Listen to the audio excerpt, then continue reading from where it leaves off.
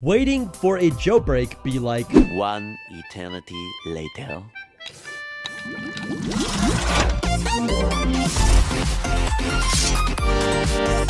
What's up guys, the TechSpot here, and in my last iOS 15 jailbreak update video, I told you guys to stay on the lowest version of iOS 15 possible. It's best to remain on the lowest software possible. If you do want to jailbreak, that's the general rule for jailbreaking. And if you did update to iOS 15.4, to then downgrade back to iOS 15.3.1. But overall, the same premise still remains. Remain on the lowest version of iOS 15 that you can to see a new jailbreak. So, we did get some new news today, which I want to share with you guys. So first off, the upcoming iOS 15 jailbreak name is going to be Taurine. You go to taurine.app to go to the website, and currently it does support iOS 14 through 14.3. Now, this is the jailbreak that is going to be updated to support iOS 15. Now to start with, this jailbreak is going to use binaryboy's exploit and tihmstar's exploit, but which devices it will support and which iOS 15 versions it will support is a little bit complicated, so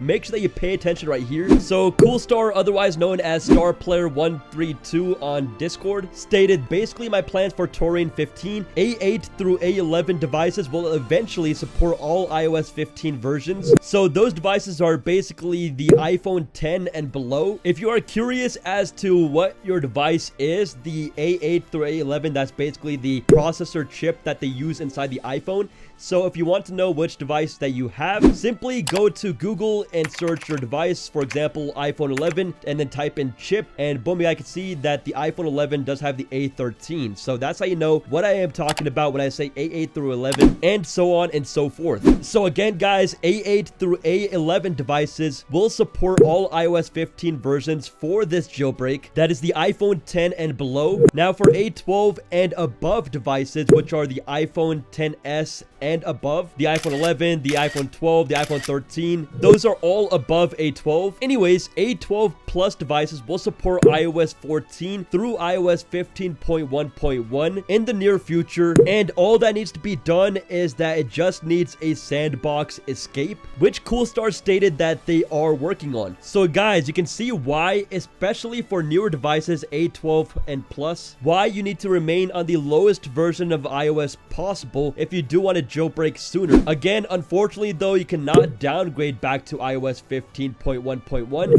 so we just have to wait for the 15.3.1 jailbreak if you did update to 15.4. But again, make sure you downgrade quickly so you do not miss out on this future opportunity. But again, for A12 devices and above, you'll be able to jailbreak on iOS 15.1.1 and below pretty soon. Okay, so we covered older devices, A8 through A11, which will support all iOS 15 versions for this jailbreak. And then we talked about A12 and above devices, which will support iOS 15.1.1 and below. But what about A12 and above devices on iOS 15.2 and above, like 15.3.1? Coolstar stated, consider SetUID completely dead on these firmwares. Jailbreaks will need a userland bug to get code execution as root at minimum sudo, Sileo, etc. will be broken and will need to be updated even if the jailbreak can be done. So basically what Coolstar is saying is for newer devices, A12 and above, which again are the iPhone 10s, 11, 12, 13, and basically the iPhone 10s and any device newer than the 10s. On iOS 15.2 and above, they do have a lot of work to do to make this jailbreak work. So yeah, guys, I know that could be a little bit confusing. That's why I really wanted you guys to pay attention over there. But yeah, in short and summary, as consolidated as I could put it, on older devices, it'll support every single iOS 15 15 version for this jailbreak, which is again the iPhone 10 and below. And then for newer devices, which is A12 and above, those will support iOS 15.1.1 and below.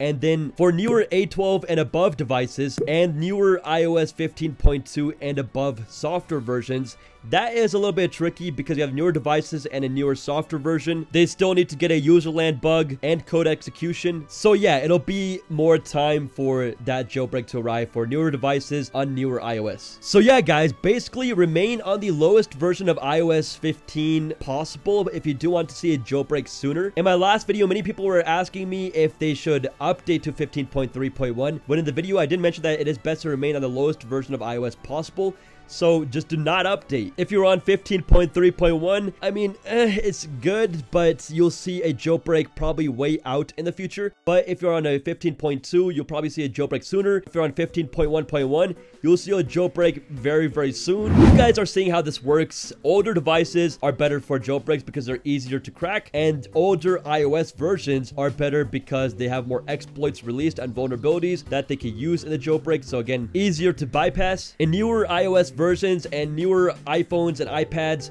they are putting more and more security and bug fixes, so that makes it harder to jailbreak. But yeah, regardless, we will be seeing jailbreaks in the future, and I am so excited. We just had to play the game of being patient. That definitely, I know, I know, is the hardest part. I am waiting myself. As always, I'll keep you guys posted, and stay tuned for many more exciting videos. This is The Tech Spot. Thank you for watching.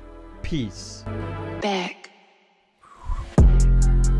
And I'm going, and I'm going, and I'm going. Yeah, I'm going. And I'm smoking, and I'm smoking, and I'm smoking.